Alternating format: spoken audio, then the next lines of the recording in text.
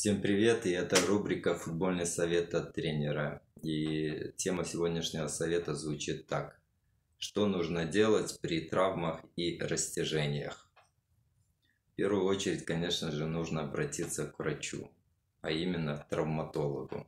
И желательно не обычной поликлинике либо больнице, а посетить спортивный диспансер – там травматологи уже набиты этой темой, они быстро вам посоветуют, что делать и какую мазь использовать.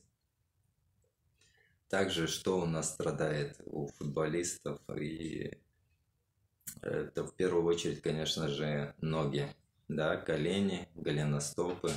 Это такая вот э, травма, которая неизбежна ни у одного футболиста я полазил подготовился, и полазил по сайтам, и наткнулся на рейтинг самых э, лучших мазей от растяжений мышц и связок. Сейчас я вам зачитаю эту десятку лучших мазей и где-то что-то поясню. Первая мазь это спецмазь. Она рекомендуется именно для детей. Второе место занимает мазь под названием капилляр. Подходит при варикозе. Да, бывает такое, что в вену попадает мяч, либо удар и образуется варикоз. Вот есть такая мазь от этого. Э, третье место апизартрон. Э, как пишет сайт, это лучшая мазь согревающие. А, четвертое место Никофлекс. Самое профессиональное, как пишет сайт. Пятое место Бенгей. Один из самых э, безопасных. Деприлив. А, лучшее охлаждающее. Леотон 1000 вот такая вот мазь есть, ее советуют даже беременным девушкам, женщинам. Восьмое место Вольтарен Эмуль Гель. Помогает лучше дешевого теклофенака. Девятое место Кетонал. Лучшее обезболивающее. Десятое Бомбинге. Бон? Бом? Бенге самая бюджетная. Э, вот такой вот получился рейтинг, и я в этом рейтинге, к сожалению, или может тоже и к радости, все-таки время идет, э, не увидел мази такой, как согревающий капсикам. Да? Э, вообще при травмах, если вы тут же получили вот эту травму, либо потянули, почувствовали, да, что ногу где-то потянули, э, нужно, во-первых, прекратить тренировку, и, во-вторых, э, желательно не двигать ногой. А в-третьих, положить на это место лед, либо холодную какую-то в пакете воду, я не знаю, либо бутылку холодную. Ну, что-то приложить холодное, желательно. После всего этого посетить, конечно же, травматолога, как я уже сказал в начале. А, из этих вот десяти, которые посоветовал сайт Мази, а, я не использовал ни одну. Их то ли тогда не было, либо я о них не знал. Я использовал капсикам при растяжении того же связок голеностопа помимо этого, да, капсикам используется это такая мазь, которая э, жжет, жгет нашу, так сказать, ногу, и ты уже думаешь не о том, что у тебя какое-то растяжение, а о том, как у тебя горит нога. Но играть хотелось, и был молодой, и микротравмы, конечно же, для меня были как-то не очень так сказать, затрудняли мою жизнь. Я продолжал играть. Я же советую, конечно же, э, лучше дать паузу, и пусть травма заживет до конца. Не так, что что касается капсикама, его достаточно носить маленькую такую капельку, хорошенько втереть в то место, где травма, а, ушиб, либо растяжение.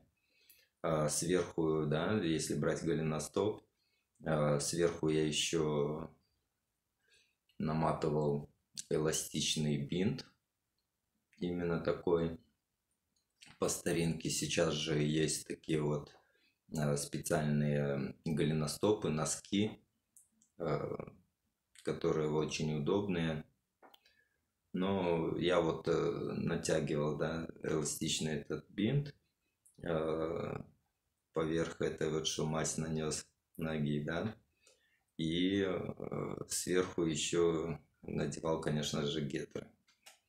И так сказать, было удобно бегать, в принципе. И через некоторое время даже травма быстро, ну не быстро, может, пару-тройку тренировок и забывалась боль. Но я советую все-таки взять паузу, чем вот так вот мучить эту ногу, это место. Вот. А, что вообще еще посоветую? То, что э, берем, да, ахиллесовую пяту. Почему она ахиллесовая? Поэтому если травмируется пятка, отбивается, то играть уже невозможно. Это на сто процентов ты уже э, будешь думать не о игре, а то, что тебе больно ступать на ту же пятку да, и все мы знаем, там идет на пятка, пятка, потом ахилл. Ахилл это вообще тяжелая тема. Если вы почувствовали, что ахилл у вас э, чуть-чуть где-то надорвался, либо потянулся, в общем, почувствовали боль, сразу же заканчивайте тренировки и обязательно идите к врачу, травматологу. И он все знает, и он скажет, что делать.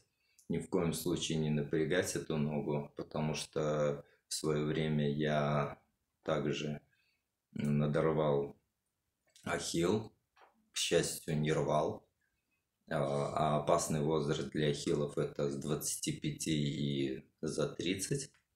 Это вот такой промежуток времени, когда больше всего футболисты именно не то, что Э, надрыв делают ахилл, а рвется ахилл. А ахилл заживает очень долго, и потом его надо залечивать после, э, конечно же, закачивать, да, вот этот ахилл.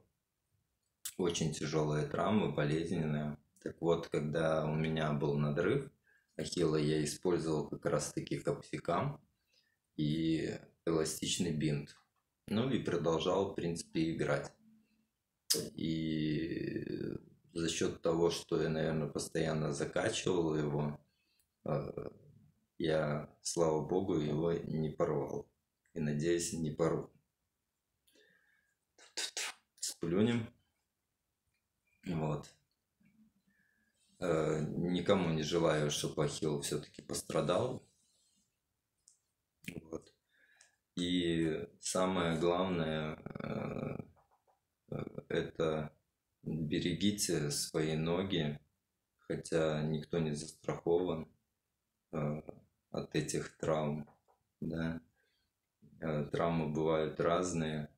На ногах даже говорят, что лучше сломать палец на ноге, чем повредить пятку либо ахилл да, сломанным пальцем еще где-то можно и доиграть матч, и потренироваться еще на следующий день.